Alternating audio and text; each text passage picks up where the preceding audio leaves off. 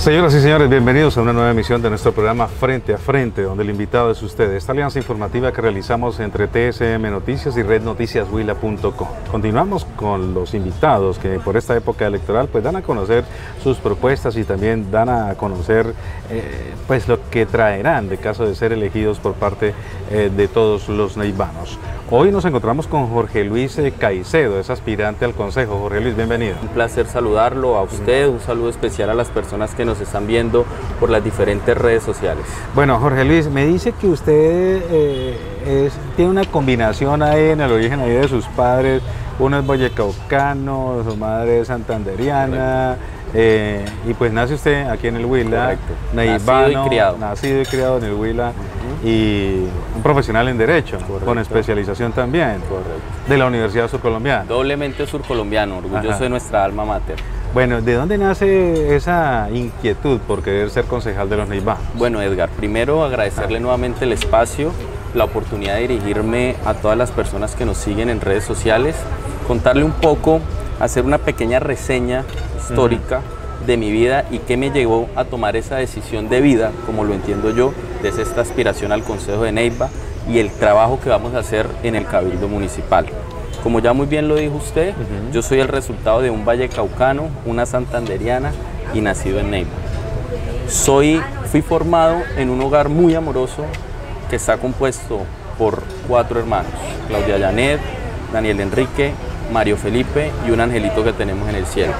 A partir de ahí, de esa formación profesional, de esa formación académica y la experiencia que yo he tenido a lo largo de mi historia, porque tengo 31 años, a pesar de que soy una persona joven, tengo 10 años de experiencia trabajando en entidades públicas, me permitieron a mí darme cuenta y entender que es a través de las políticas públicas que podemos modificar transformar las realidades sociales de las personas que más lo necesitan.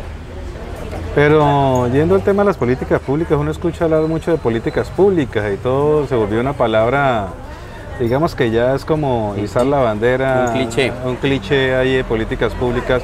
Se crean políticas públicas, pero el tema es aterrizar esas políticas públicas que a la larga de ponerlas en práctica nadie las pone en práctica o son muy pocos los que las ponen en práctica. En el caso del Consejo Capitalino, muchos siempre cuando hablan en las campañas dicen vamos a cambiar estos procesos, vamos a hacer esto. En realidad, ¿usted qué propone con respecto a, estos casos de llegar al Consejo Capitalino? Mire Edgar y los amigos que nos están viendo en este momento, ¿qué le queremos proponer al ordenador del gasto que llegue? Independientemente, en este momento no nos interesa. Nos interesa que le apostemos al tema del emprendimiento y que hagamos una formación integral, no solo en el emprendimiento, sino que sea un emprendimiento en economía circular. Yo le quiero contar un laboratorio social del que tuve la oportunidad de conocer, y es un colegio público de la ciudad de Neiva. Dos maestras, dos profesoras, se diseñaron, ellas dos, una asignatura que se llama Emprendimiento Ecológico. Ellas dos están diseñando esta asignatura desde sexto hasta once y sabe qué está generando y qué modificó en realidad social que los jóvenes y niños de este colegio hoy en día salen con el chip modificado. Salen que tienen que modificar y entender si tienen un arte, un gusto, una pasión, que la pueden desarrollar, pero que lo hacen como verdaderos empresarios. ¿Qué es el que queremos proponer al, al, al alcalde que llegue, indistintamente del que sea? Que modifiquemos el plan maestro de educación para que le demos la oportunidad a los niños de zonas vulnerables, que son los que asisten a los colegios públicos, de que tengan esa posibilidad. ¿Y por qué en el tema de economía circular? Bueno, porque ahí está el renglón de la, de la economía que más está generando recursos. ya, hay, ya hay empresas que están trabajando sobre eso y nosotros queremos impulsarle y darles materiales para que sigan generando esa producción económica. ¿Usted es partidario de que el actual Consejo Capitalino se renueve en su totalidad? Bueno, eh, digamos yo soy un actor político en este momento y entiendo que es necesario la renovación, que es necesario los cambios. Por ejemplo, yo celebro en su momento la renovación que tiene la Cámara de Comercio, por tenerlo en un tema. Es importante que lleguen nuevos aires, es importante que se renueven las dinámicas. Aún así, indistintamente, pues las personas que lo están haciendo bien, las personas que están haciendo un trabajo correcto, pues ¿por qué no que continúen haciéndolo? Usted está con los eh, partidos eh, políticos Salvación Nacional. Correcto. Y también con el nuevo Nueva, Nueva Fuerza, Democrática. Correcto. Uno de los partidos pues lo está liderando el actual presidente, bueno, actual presidente no, el expresidente Pastrana, Correcto. que precisamente por estos días llegará al departamento del Huila. ¿Cómo es esa coalición, cómo es esa alianza para que usted termine pues avalado por parte de esos dos partidos?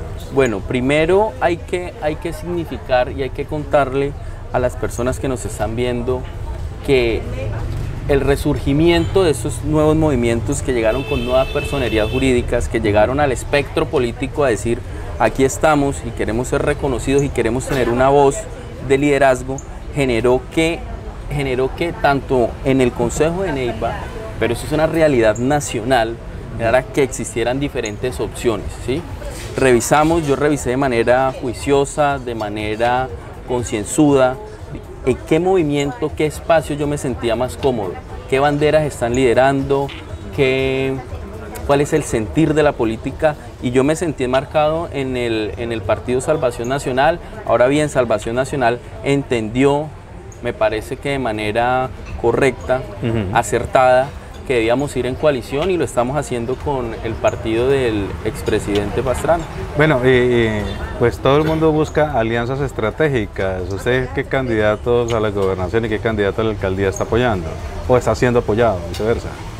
A ver, Edgar, eh, el Partido Salvación Nacional, nosotros tuvimos la visita de nuestro presidente eh, a nivel nacional eh, la semana pasada y se tomó una decisión de partido que es apoyar al médico Rodrigo Lara, ¿sí?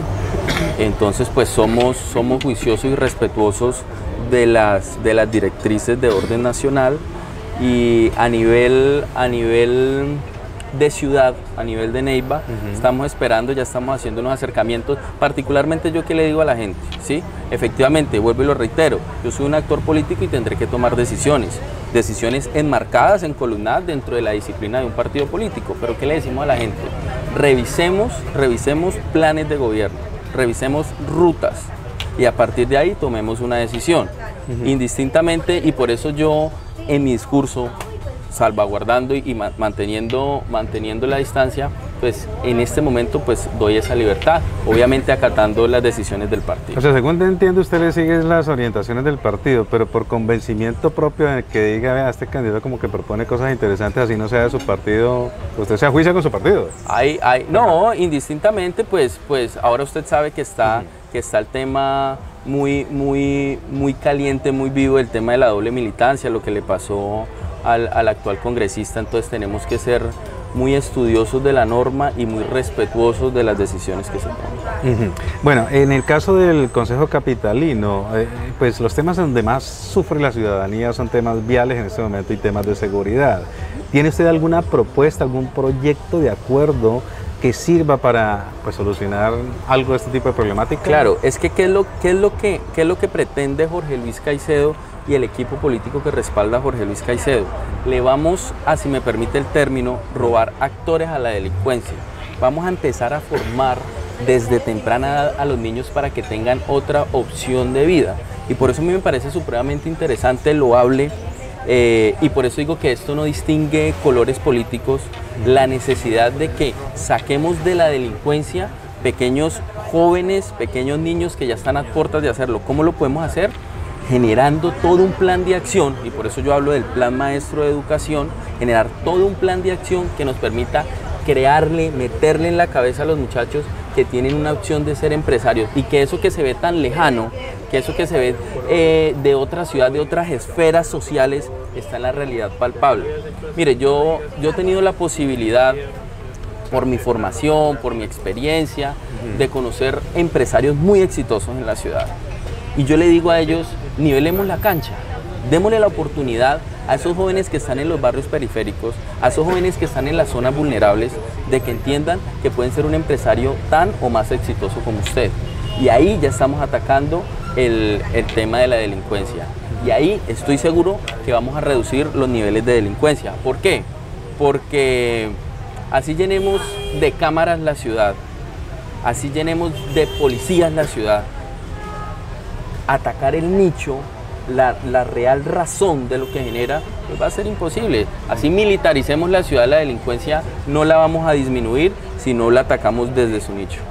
Jorge Luis, pues con usted son muchos los temas que se pueden dialogar con respecto a este tema. ¿Qué número deben marcar para que lo apoyen a usted eh, al Consejo Capitalino? Muchísimas gracias porque eso es supremamente importante en la pedagogía electoral, porque no se van a encontrar ni el rostro ni el nombre. Entonces, las personas que nos están escuchando, que nos quieran apoyar, tienen que marcar el logo Salvación Nacional, Nueva Fuerza Democrática, Coalición Neiva con Seguridad y el número 19.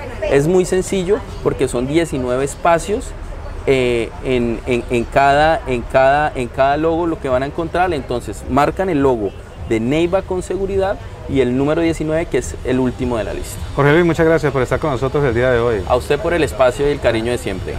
A ustedes amigos, muchas gracias por acompañarnos en esta serie de entrevistas que tenemos para ustedes en Alianza Informativa entre TSM Noticias y rednoticiashuila.com. Esto se llama Frente a Frente, donde el invitado es usted. Nos vemos luego.